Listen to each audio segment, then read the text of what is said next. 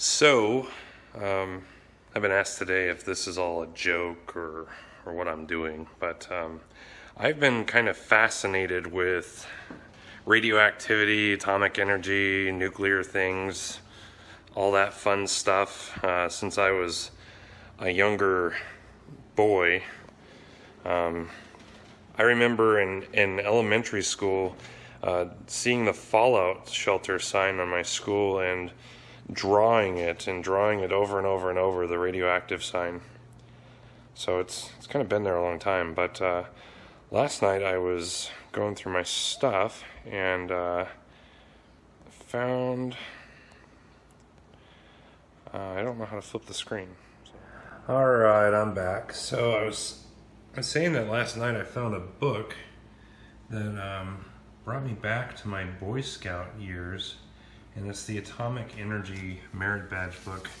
Lots of really fun stuff in here, um, talking about all the different particles and what they are, and who discovered them, and how to build some things at home to detect them, and how they use them for medicine and smoke detectors, and I mean, radiation, radioactivity is is used all over the place uh, and lots of things we do.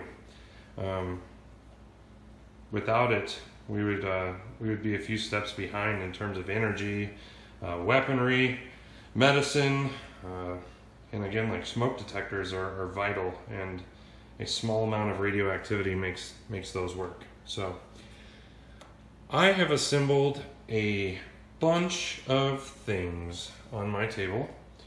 Um, I have some Bluetooth earbuds. I have a battery pack. I have this vase full of glass beads. I have a toddy glass container, a little blue vase, this fire engine red uh, little ceramic piece, a big yellow dish, uh, this little whale butter dish, a kind of classy white fruit bowl, uh, got this white plate here, just boring plate. Um, this metal cup vintage. I believe this is from uh, Alcatraz. Very, very uh, old. I got this little ceramic cup here. Um, we got an iPhone that's on and connected to Wi-Fi. We have a banana. Yay. Um, we forgot the limes. Back to the banana.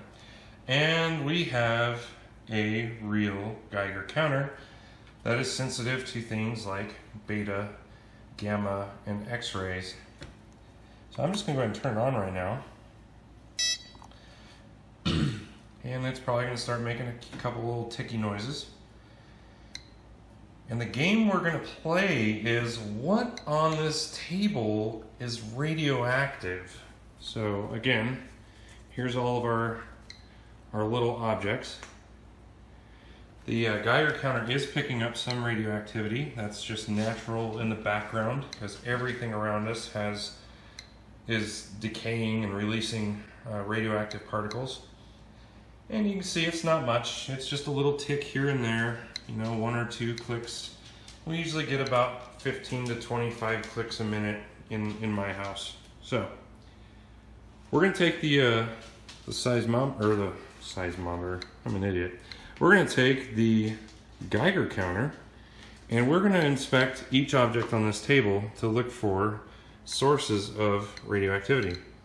So we have the um, cell phone here and so far, um, let me just turn it on. Really nothing, not much going on. Uh, we got our book, not much going on.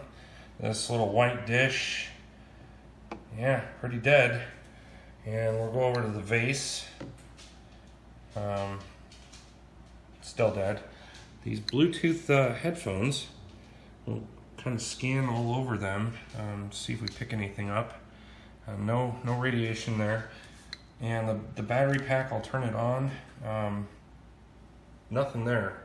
The, the marbles and the glass vase is also relatively well, not relatively dead, it's dead. Uh, this glass jar, also dead. Little red dish, nothing going on. And the yellow plate, um, slight little uptick, but nothing out, out of the ordinary. We're still at 10 clicks a minute, um, which is pretty low. Uh, this little dish here, not much going on. The Alcatraz cup, still boring. Uh, banana, by the way, bananas are actually slightly radioactive because of the potassium in them, but hardly enough to detect. And we got the limes and this dish, and it is absolutely dead. So that, that brings us to this last white plate, right? So we're gonna set down the white plate, and well, that's, that's boring. Nothing's going on. But this white plate is actually hiding something. I'm to lift this off and here we have a 19, 1950s era, possibly 40s or mid 30s, uh, as late as the 70s. And we're just going to watch the uh, Geiger counter here. We're about two and a half feet above it. And you can see there's, there's something going on. I'm just going to get a little bit closer till I'm all the way onto the plate. And you can see that this plate is very radioactive. It's releasing beta and gamma particles.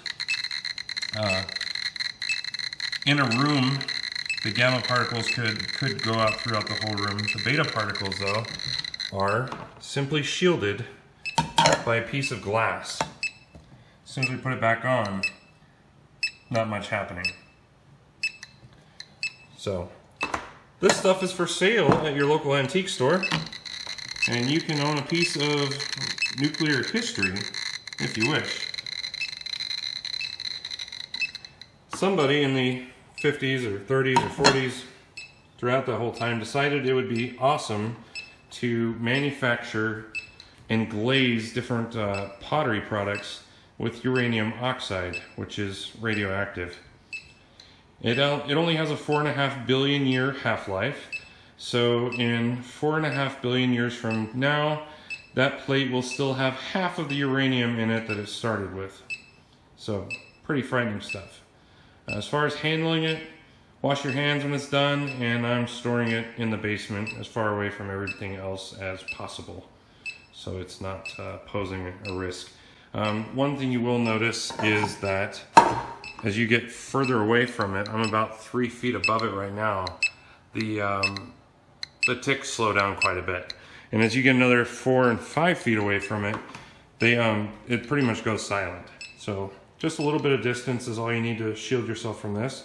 You definitely don't want to eat off of it, and you definitely don't want to hold it in your hands all the time, but I'll be uh, blogging a little bit more about the dosage uh, the exposure you get from this plate and what that means. And I'm hoping to find some more fun stuff in the near future.